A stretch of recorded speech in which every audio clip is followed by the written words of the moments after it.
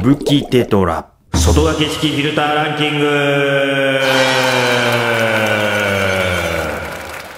ということで、どうもこんにちは、吹雪です。今年の2月から始まったフィルターシリーズにおいて、各メーカーの外掛け式フィルターを取り上げました。そこで結局どれがいいのかっていうことを辛口も交えながらランキング形式で語ろうと思います。果たして1位はどのメーカーなのか最下位。日総から発売されております、マスターパルプラススキマー400です。今斜めになってますけど、フレーム水槽に対応していないんですよ。それが明記してなかったんですよ。だから最下位です。デザインすごいかっこいいです。蓋が白くて、本体が黒。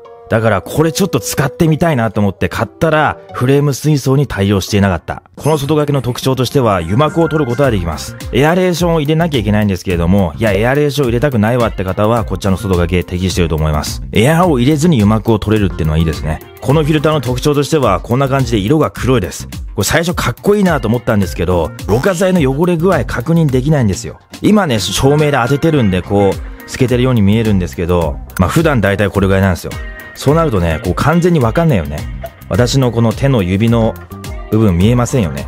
だから、汚れ具合確認できないんだよね。外書き式フィルターってのは、汚れ具合を確認して、めちゃくちゃ汚れる前にね、新しいやつ入れたりとか、リングろ過剤半分変えたりするんですけれども、外書きの利点を潰してるという、そういう構造でございます。突出口の角度は普通です。ただですね、蓋がこのように透けてません。だから、ホコリとかがね、目立ちにくいんですよ。透明なやつだとね、結構ホコリがこう上に乗って目立ってしまうことがあるんですけど、これは白いプラスチックの蓋なんで、ホコリとかがあまり目立たない。そして小型ながら、ちゃんと手が入ります。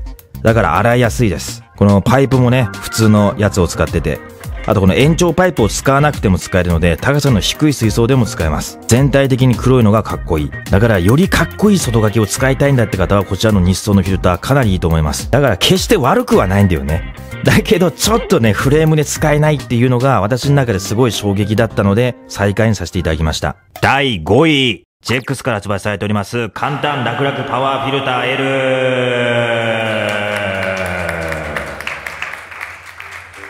こちらはジェックスのスリムじゃない方の普通の外書き式フィルターです。形が扇形で丸みを帯びてます。色味は普通です。黒すぎないので、ろ過剤の汚れ具合がわかります。蓋は透けているので、上からもろ過剤の汚れが確認できて、上に穴が開いているので空気が入ります。で、こうちゃんとね、安定感もあって、ジェックスのロゴもかっこいい。この外書き式フィルターの利点としては、ここがね、突出口動くんですよ。こんな、こんな感じで。だから、水流の苦手な個体ならばね、こうちょっと上の方にしたりとか、こういろいろこう調節することができます。私の開封動画の時点ではこれ気づかなかったんですけど、このエアをちゃんとしっかりしまえる場所があって、空気を取り込みながらろ過します。中がね、ちゃんと酸素で満たされるんですよ。より好気性バクテリアを増やしやすい構造となってます。ストレーナーとかパイプもグレーがかっていて非常にかっこいい。これなんで5位なのかっていうと、ここがね、めちゃくちゃ安定感ないです。ストレーナーとインペラー部。こう私の動画のコメントでも金魚を飼っていて、このフィルターを買いましたって方がいて、ぶつかっただけでもこれがグラグラして、なんかね、空回りすることがあったらしいです。多くの人さんがやはりここがね、安定感がなくて何回もね、水が入んないっていうことがあって、あの、稼働しないとか、鹿のね、まあ、ちょっと魚ぶつかっただけすぐこれが動いて、もう使い物にならないってコメントが多かったです。多分ジェックスの新ブランドアクアリスタがこの改良版を出すと思うので出したらまたレビューしたいと思います。これは非常にね、大きいのでもちろん手で洗うことも簡単です。ろ過剤も好きなもの入れれますし自由度が高い。だからせめてここだよね。ここが惜しかったので強引にさせていただきました。第4位。スペクトラムランジャパンが発売されておりますテトラオートワンタッチフィルター AT60 とても歴史のある外掛けで、この銀色の蓋が特徴です。私はこれが好きなんですけど、一部の視聴者さんはこの銀色の蓋があまり好きじゃないので、他メーカーのものを使っていますって方がいるので、このデザインは好みが分かれそうです。普通の黒み具合は同じ。波型突出口というギザギザのやつがあるので、水量を和らいでくれます。私が検証した中で結構音静かです。無音でも静音でもないんですけども、外掛けの中ではかなり静かな方です。水平調節器も非常に安定していて使いやすいです。手も入るし、とてもいいんですけども、なんで4にしたのかっていうと、ここがちょっと大変なんですよ。つけるのが。あとこのクリップ、ここがね、硬いんですね、このクリップが。だからここがちょっとマイナス。そして、銀色の蓋。これがね、やっぱりあまり好き、私好きじゃないですって方が結構いたので、一歩下がって考えて4位させていただきました。個人的にはね、もっと順位上なんですけども、やっぱりね、このデザインがあまり気に食わないって方結構いたんで。あとはまあパイプが透けていないので、パイプの汚れ具合がわからないってとこですかね。そんな感じです。まあ致命的な欠点はないように思えます。第3位。ジェックスから発売されております GA スリムフィルタープロ L。こちらは JEX の新ブランドアクアリスタが発売する外掛け式フィルターです。一番最初に JEX のスリムフィルターをレビューしたんですけど、その進化系になります。まずすごいデザインかっこいいよね。私の動画の視聴してくださった皆さんも、いや、風紀さん、この外掛けとてもかっこいいですね、とか、いや、これはもう今までと違いますねっていうコメントが結構来て、皆さんも気に入られてます。ろ過剤が銀と黒でかっこよくて、フィルターケースの黒み具合もちょうどいいです。なんでこれ3位にしたのかっていうと、1位と2位が凄すぎるという理由と、もう一つこれ売ってないですっていうコメントが結構来ます。ジェクスアクアリスタを導入しているアクアショップでは買えることはできるんですけど、まだまだね、アクアリスタを導入していないところが結構あるらしくて、そこだと入手できないです。あとね、チャームとかね、チャームやアマゾンでも売ってないらしくて、なかなかね、入手難易度が高いということで、3位にさせていただきました。これはまずまあ非常にスリムでね、奥行きもなくて、よくその外掛けて壁の距離が必要になるんですけど、これね、ほんとスリムだから壁に近くても設置できるんですよね。致命的な欠点が2つほどありまして、まずこれね、これがね、非常にすぐ外れます。これ。水平調節器。以前のスリムフィルターもそうだったんですけど、ちょっと動かすとすぐこれ外れるんで、もうちょっとここを強化してほしいなと思います。あとですね、この一番下のところ、このテーブ、ここね、手届かないんですよ。女性ならね、届く可能性あるんですけど、男性ならね、こう、入んないんですね、手が。だから、スポンジで洗いにくいっていう欠点があって、途中まで入るんですけど、一番そこの部分が洗いにくいので、なんか特殊なスポンジを買う必要があるかなっていう。ここももうちょっと洗えるようにして欲しかったっていうのがあります。だからここでちょっと分離できたりね。もしくはもう少しこう幅を広げたりとか、手が入る工夫があればよかったなっていう点で、この2点が非常に惜しかったです。ただね、デザインがすごく良くて、まあ個人的には先ほどの日装の上位互換かなっていう感じがします。デザインと使いやすさ、求めたい場合はこちらのジェックスアクアリスタ、かなりいいです。値段も結構安いんですよ。アクアリスタ高いもの多いんですけど、これはね、良心的な価格で、そこもプラスですね。第2位。ことぶきから発売されております、プロフィットビルダービッグ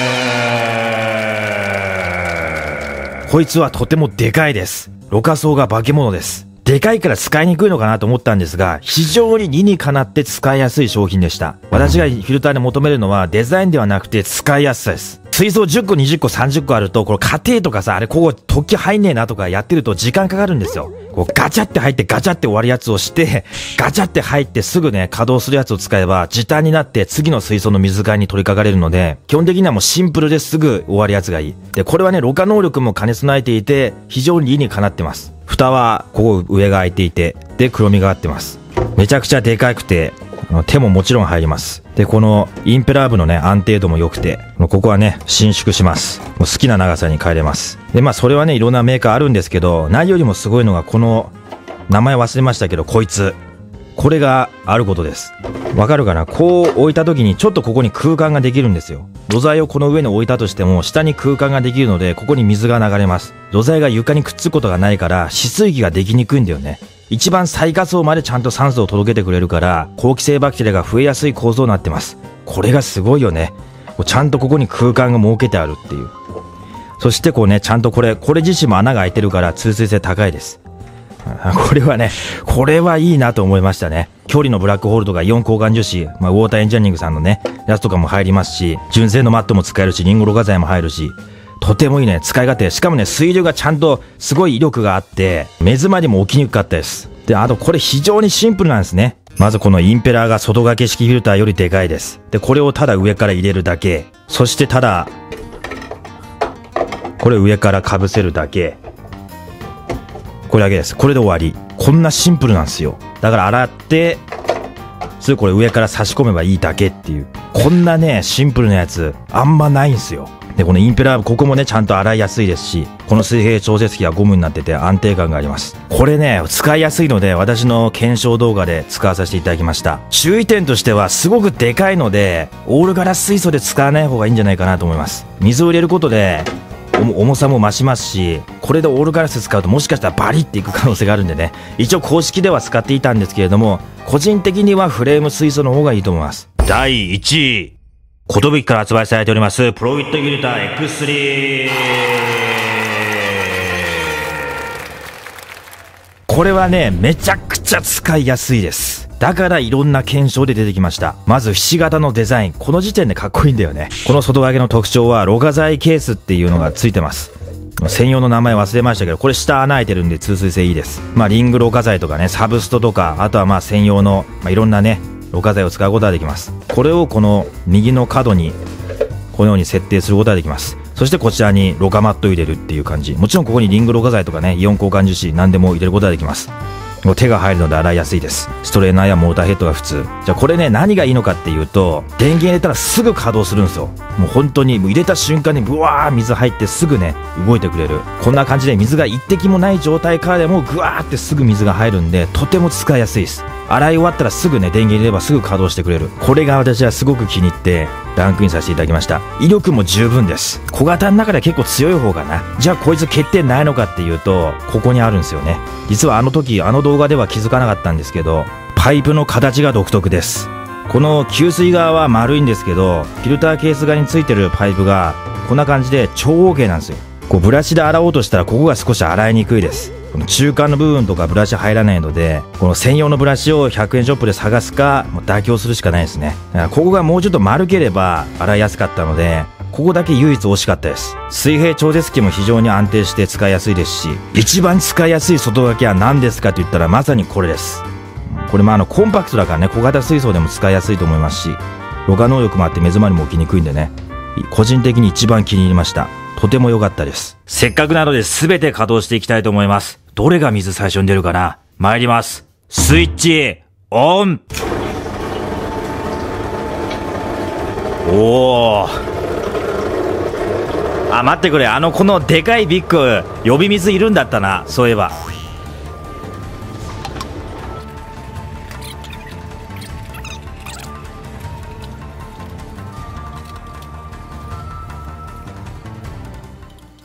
はい、今すべて稼働しました。ちょっとジェックス手こずったんですけど、なんとか全部出ました。今感じてることはとてもうるさいです。寝る部屋では確実に使えないと思います。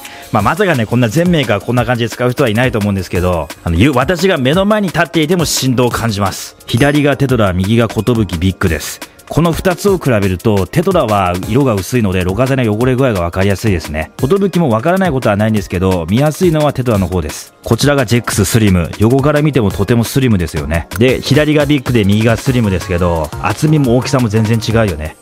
でもね、スリムね、ここの幅一緒なんですよ。で、ここがスリムっていうね。だからスリムながらろ過能力を追求したそんなフィルターだと思います。まず日層の突出口はこんな感じです。結構勢いよく出てますよね。小型水槽で使う場合は水流が強いかもしれません。こちら第1位の寿プロフィットフィルター X3 ものすごい勢いあるよね。水流がないと効果が発揮できないイオン交換樹脂とかあと寿のブラックホームとか。この中にぶっ込めば外掛け式でもちゃんと効能を発揮できると思います。こちらが JEX アクアリスタ GA スリムフィルタープロ L です。勢いはそんなないです。反対側で見づらいんですけどこちらがテトラ。これは波型突出口のおかげでとても水流が弱いです。他メーカーみたいにこのように滝のように出ることはないので水流が苦手な生態でも使いやすいと思います。こちらが寿ビッグです。これはすごいね。ここはもう滝になってますけども水流もありますがその分ろ過能力が高いです。こちらジェックス普通の外掛け。これねここ移動できるんで一番上にすれば水流を加減をつけることができます。ということで1個ずつ可動音聞いていきたいと思います。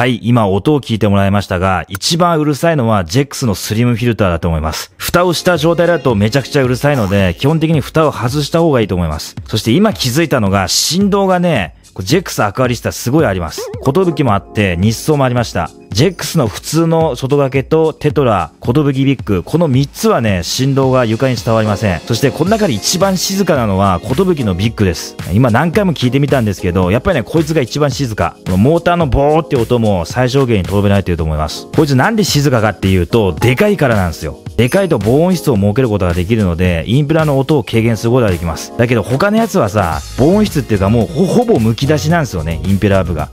だから音を小さくできないということが欠点として挙げられると思います。まあ、外掛けがそもそもそういう構造だったんですけど、このビッグはめちゃくちゃでかいから、そういう音の軽減ができたんじゃないかなと思います。そして振動も伝わりにくいので、これ、これ、これ1位かもしんないね。でもまあ使いやすいのはね、こっちなんでね。まあこっちはすぐ電気、これ呼び水いるからでかいやつ。使いやすいのはこいつなんですけど、一番静かなの欲しいって場合はビッグがいいと思います。それでもう一つ気づいたのはこの流量調節。基本的にね、こう、蓋の上にあるんですけど、アクアリスタはこの流量調節の場合、こう蓋開けてね、ここでやんないといけないんですよ。普通のジェックスも基本的に、こう蓋開けてね、で、ここで流量調節しないといけないので、少し手間かもしれません。他のメーカーはこんな感じで流量調節つまみが上にあるので、簡単にこう手でできるんですけど、一回蓋を開けるっていう作業がジェックスの外掛けの場合あります。ミストがね、ちょっと立ち上げが悪いです。今こんな感じで電源入れたんですけど、すぐ行かないんですよね。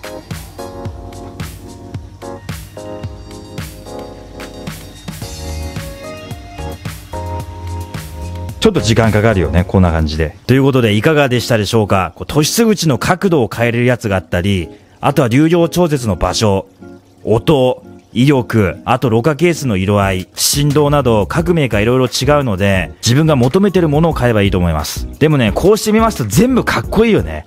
これがね、外掛けの特徴で、とにかくかっこいい。どのメーカーのやつも、外掛けってこう、ロゴから見れるんですよ。ろ過剤が。これもなんかおしゃれでいいですよね。ということで、今日もご視聴ありがとうございました。今回紹介した全ての外掛け式フィルターのリンク、下の概要欄に貼っておりますので、よかったらぜひ、そしてチャンネル登録もよろしくお願いします。以上、外掛け式フィルターランキングでした。ありがとうございました。バイ